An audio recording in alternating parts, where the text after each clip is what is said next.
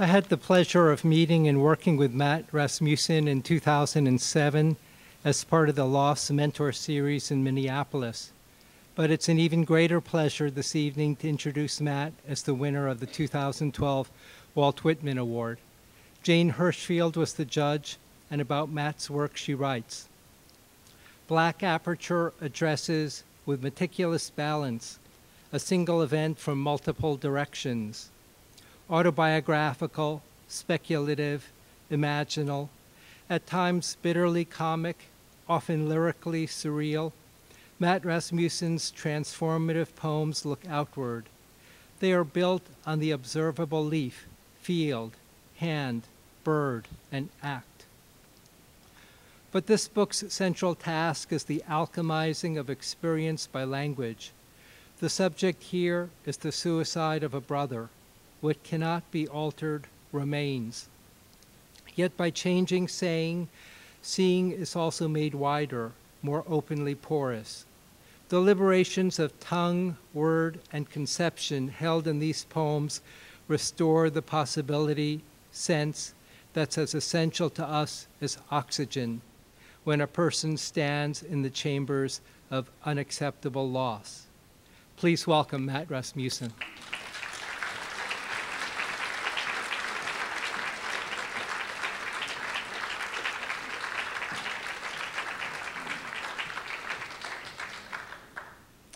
Thank you, Arthur.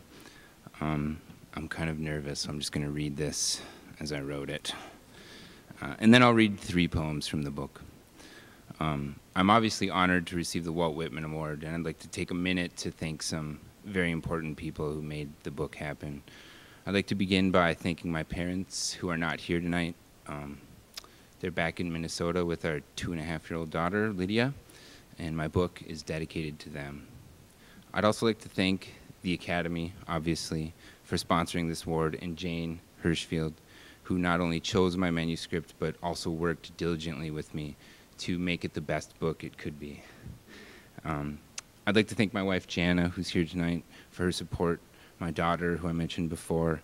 And this book took a long time to become what it is, and my close friends and fellow editors at Birds LLC, which is a small poetry press we began, Dan Boehl, Justin Marks, Sam Starkweather, and Chris Tonelli helped me tremendously.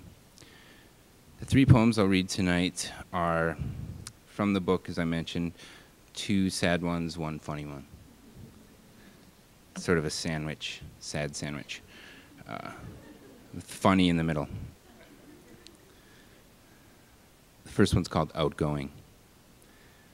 Our answering machine still played your message, and on the day you died, Dad asked me to replace it. I was chosen to save us the shame of dead you answering calls. Hello, I've just shot myself. To leave a message for me, call hell. The clear cassette lay inside the white machine like a tiny patient being monitored, or a miniature glass briefcase protecting the scroll of lost voices. Everything barely mattered and then no longer did. I pressed record and laid my voice over yours, muting it forever, and even now. I'm sorry, we are not here, I began. okay, funny now. Land Lakes. You guys know that logo, right? I'm from Minnesota, so this is my Minnesota poem.